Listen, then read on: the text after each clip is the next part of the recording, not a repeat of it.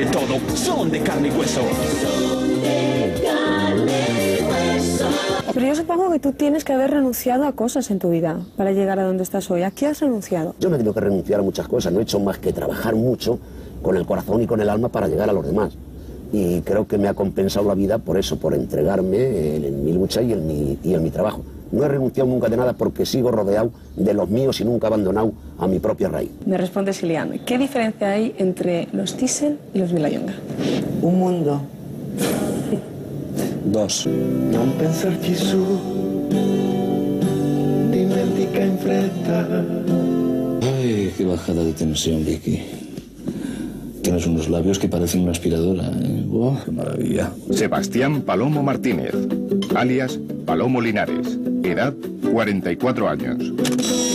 Opina que la muleta es una forma de vivir.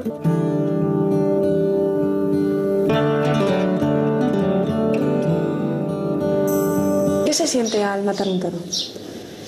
Bueno, realmente se siente, digamos, la labor cumplida, ¿no? Por supuesto que cuando se torea bien, se cuaja un toro, se, se hace una gran faena, se siente una gran satisfacción cuando realmente se mata bien el toro. Pero a pesar de todo, son de carne y hueso. Luis Sánchez Polac, alias Tip, dice haber nacido el 32 de julio de 1826. Le hacen gracia las brujas, pero le da pena que no existan. Dice que las mujeres se vuelven locas cuando le ven y tienen que meterse en el manicomio. Y entonces le dije, hombre, pero tú eres José Luis Col, el famoso vendedor de ovejas de Cuenca. Pues sí, efectivamente, y tú eres Tip, de la pareja Tipitop. Sí, pues nada. Empezamos a besarnos, a besarnos, a besarnos, hasta que nos casamos. Preciosa, maravillosa. Bueno, ya te la puedo llevar. Ramón Moix, alias Terenzi, nació el 5 de enero de un año indeterminado. Es el garbancito de oro de una negra familia. De joven quiso ser sacerdote del culto a Isis, pero le pescó 3.000 años tarde. ¿Cómo definirías tú el escándalo?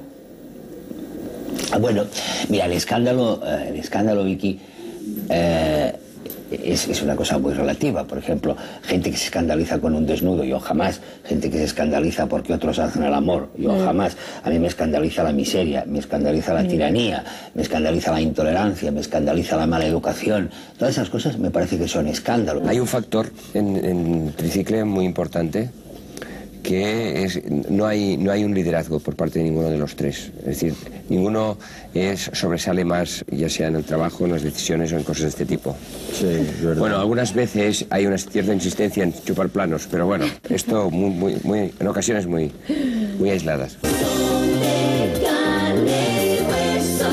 José Luis de Villalonga y Cabeza de Vaca, 71 años. El caviar siempre lo toma con cerveza.